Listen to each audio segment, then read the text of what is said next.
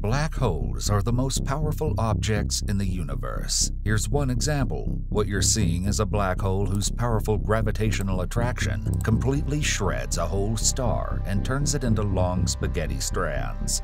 Hence the term spaghettification, which was popularized by the famous physicist Stephen Hawking when he described the elongated shape that objects take on as they're pulled into a black hole. But besides being powerful, black holes are also among the largest and most massive objects in the known universe.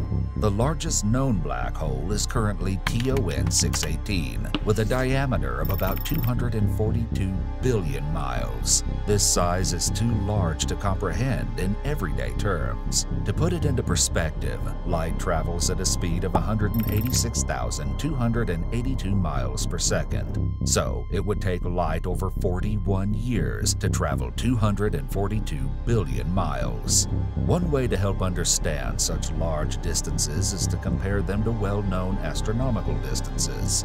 For example, the average distance between the Earth and the Sun is approximately 93 million miles, so 242 billion miles is over 2,600 times the distance from the Earth to the Sun. Another example is if you were to travel at a speed of 60 miles per hour, it would take over 4 billion hours, or about 150,000 years, to travel a distance of 242 billion miles. And then, if you were to travel to the moon and back at a speed of 25,000 miles per hour, it would take over 95 million trips to travel a total distance of 242 billion miles. As for the mass, TON 618 is about 66 billion solar masses, meaning it is 66 billion times more massive than the Sun.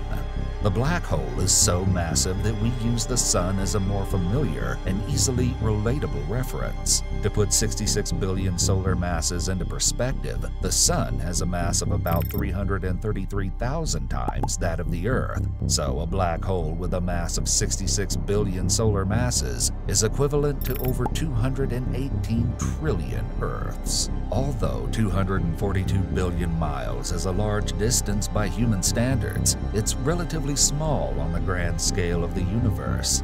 When we relate TON 618 to other objects, the black hole looks puny.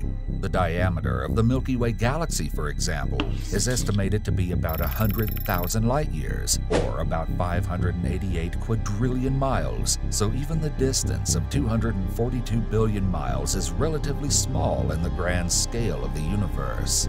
TON 618 is a quasar, which is a supermassive black hole feeding on gas at the center of a galaxy and shooting jets of radiation at near the speed of light. The discovery of this supermassive black hole provides new insights into the formation and evolution of black holes and has important implications for our understanding of the universe as a whole.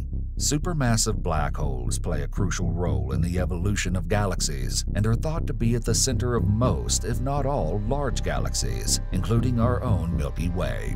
While TON 618 is currently considered to be the biggest black hole we've found, keep in mind that as new observations and technologies are developed, the size of the largest known black hole could change, and there may even be larger black holes that have yet to be found.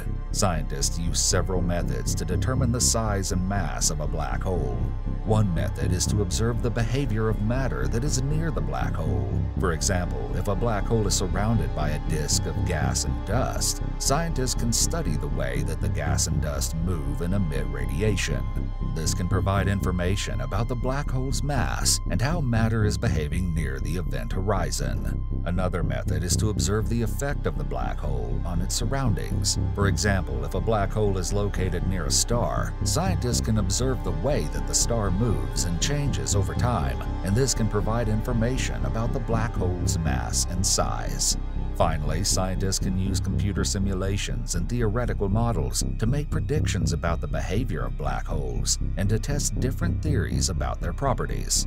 Keep in mind that black holes are very difficult to study directly, as they're invisible and can only be detected by the effects they have on their surroundings. However, by using a combination of these different methods, scientists have been able to make significant progress in our understanding of black holes and their properties. Also, it's important to understand that black holes are not physical objects with a definite size or shape. They're rather regions of space-time. The event horizon is the boundary that separates the region of space where the black hole's gravitational pull is so strong that nothing can escape, and rest of the universe. The region beyond the event horizon is referred to as the black hole's interior, which is misleading because, as we said, a black hole is not a physical object.